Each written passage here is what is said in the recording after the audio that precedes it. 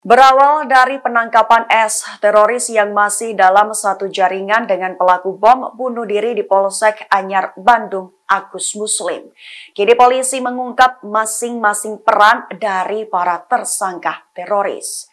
Dikutip dari Tribun Solo.com pada 5 Agustus, di Solo dan sekitarnya, S berperan sebagai ketua kelompok atau disebut Amir Kelompok Kecil.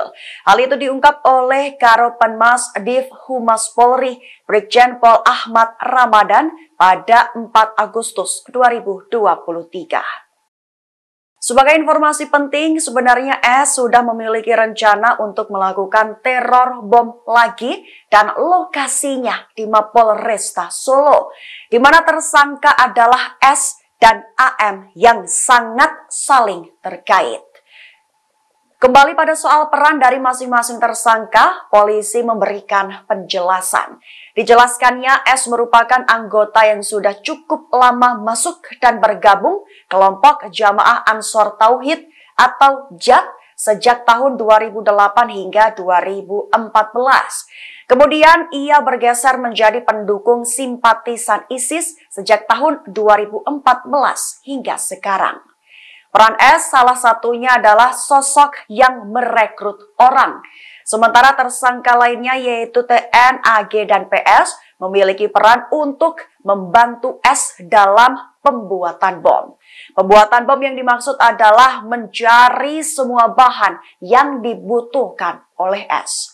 Sementara RS, tersangka teroris yang ditangkap di desa Laban Mojolaban, Sukoharjo, adalah istri dari Agus Sujatno alias Agus Muslim.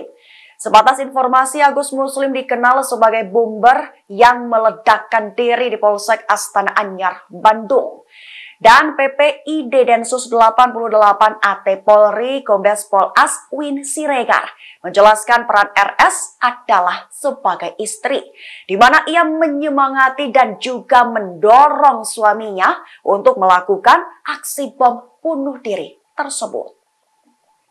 Kecil ya di uh, wilayah Solo dan sekitarnya yang bertujuan untuk melakukan Amalia.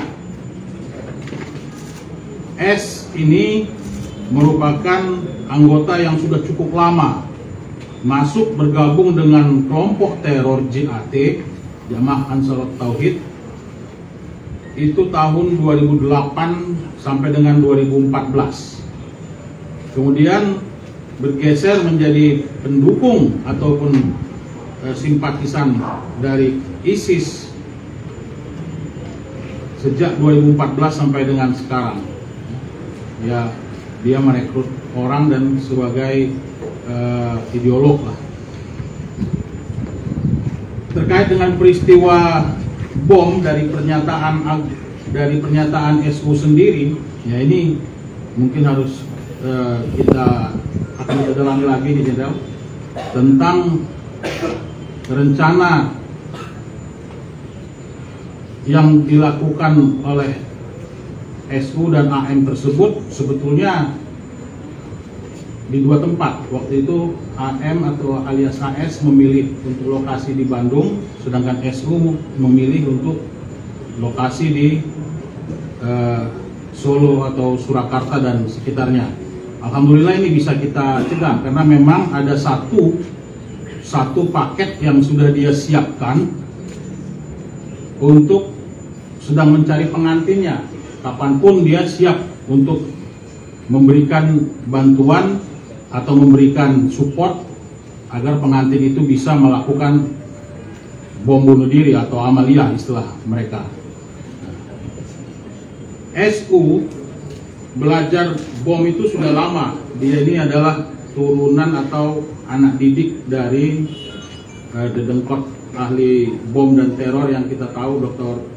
Azari ya eh, Dr. Azari ini punya kader dan kadernya inilah yang menjadi guru dari eh, SU